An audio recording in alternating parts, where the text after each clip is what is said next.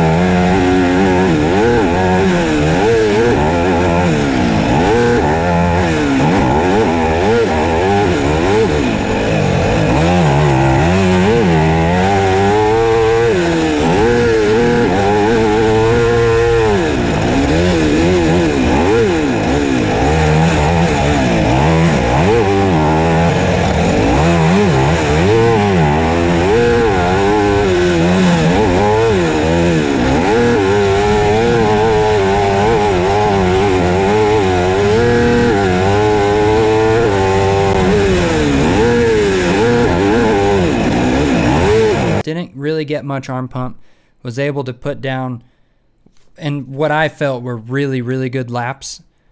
There was a step up before the mechanics area. If you watched the race, you saw that there was a single before it. And for first practice, it was really big. They ended up shaving it down and it had some mud afterwards and that had some weird ruts. And on my best lap, I got kind of messed up and I didn't do the step up. And that's really upsetting to me because that would have been, it still was my fastest lap, but it could have been even faster. I went back and compared the GoPros from corner to corner, from the corner before it to the corner after it to see how much I lost. And it actually wasn't as much as I was expecting. It was only about a half a second. And I think that's because the step up was so big and having that single before it, you couldn't get over it. So you would just land on top and bounce, and it would take so much speed away that actually singling it and then scrubbing it and getting a good drive off of the landing wasn't that much slower than just going for it. But still, I would have been about a second, under a second off of qualifying if I would have been able to do that. Oh, I guess spoiler alert, I qualified 42nd. And seeing how the track was, I knew that second practice was not going to be faster. So I just went out, tried to find some lines, see if I could ride hard without getting arm pump, and I did. This has never happened before where all of my fast laps in second practice were the same. Normally, I get one lap hard and then I have gnarly arm pump and I can't do more laps at that same speed. But at Lakewood this time, second practice, I was able to at least get every single fast lap was the same. It was all within a second of each other. So that was a that was a huge positive. Like I said, this is the best I've felt in qualifying at a national in a very long time. Here is some footage of second practice. Again, the footage sucks, but here you go.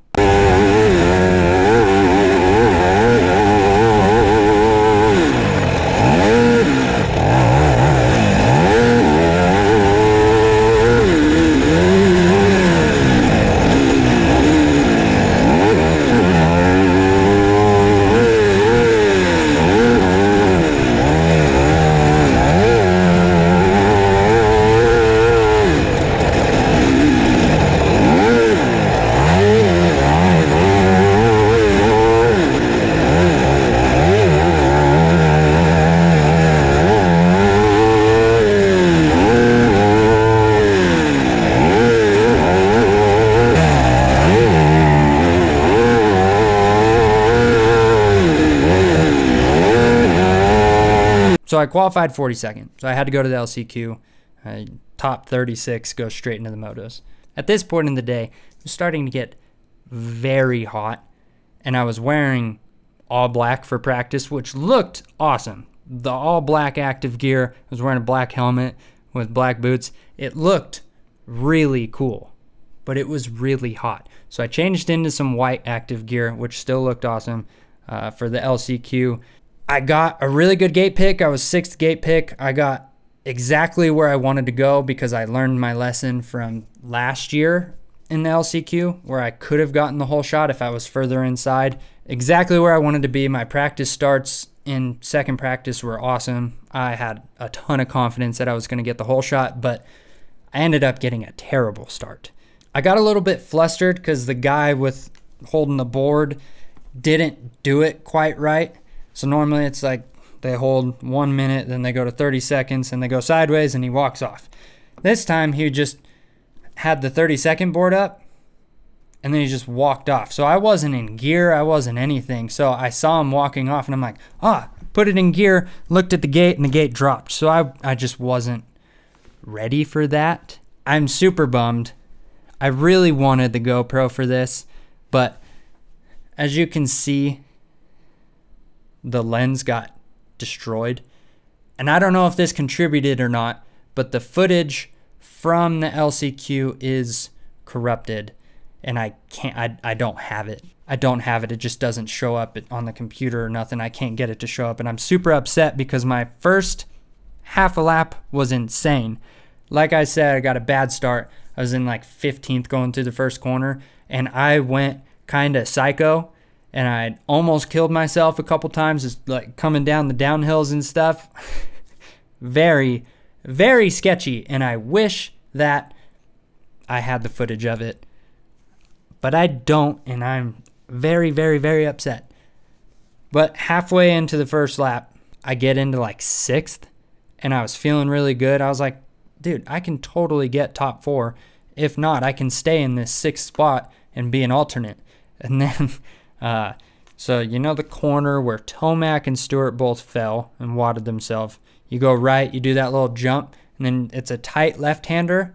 On the inside, there's a there's a little hump. There's a tiny single, but it's just big enough where you can't see the ruts on the other side of it. It shouldn't have been that much different than second practice, but I went into it way, way too fast. And as I came over the single, the ruts hooked way tighter than I was expecting them to. So I went in, I hit the rut, and it just stood my bike up. And I'm like tiptoeing, crawling through the rut, trying to get my bike leaned back over so I can go. And I get smashed from behind by another dude. It's like 90% my fault going that slow through the rut.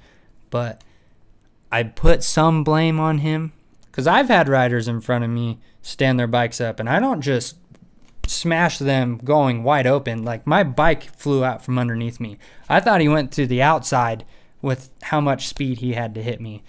But whatever. I get up. I'm pissed. I start yelling and then I look back and the kid's like kind of in a fetal position on the ground. I'm like, oh, okay, whatever. I'll just, we'll pick my bike up and go. I won't yell at this kid. He's hurt or something. I don't know. Uh, bars were a little bit tweaked, but I was just pissed because this is how LCQs go for me. If you've been watching my vlogs for a while, I've never had a good LCQ in my entire life. So this was par for the course. Pretty normal for me. I just thought, whatever. Let's do these four laps as good as I possibly can. See what I can get up to. I got up to like 15th. I felt okay. I started getting a tiny bit arm pump towards the end. Mostly I just got really, really hot. I do not do good with heat, and that was the biggest thing. But my lap times didn't really drop off in the LCQ, which was a that was a plus. The lap times weren't quite I think looking at lap times, I think I could have been around sixth. And you never know without falling, without getting out of my groove with those top guys. I could have maybe gotten a top four. And for that, I'm pretty bummed that that's how my LCQ went. And that was the end of my day. Again, I didn't qualify, but this year is not as serious as previous years, which is maybe why I felt better because I'm not as stressed. But yeah, that's how my day went. So we just uh, we watched first motos of the the main motos I got some footage of that I'll put at the end. Then we packed up and we went home. Don't live that far away. I came back to this apartment here. It's like half an hour from the track. Passed out on the couch. It was pretty nice. Sorry it took two weeks to make this video. Like I said, I tried multiple times and just the whole setup was jacked. So, but like I said, I got some footage of first motos that I'll put in right after this. Uh, I also am about to make another video explaining what I'm doing for the rest of this season. But yeah, I'll see you in that video because I'm literally about to record it. Uh, here's that footage, and I hope you enjoyed.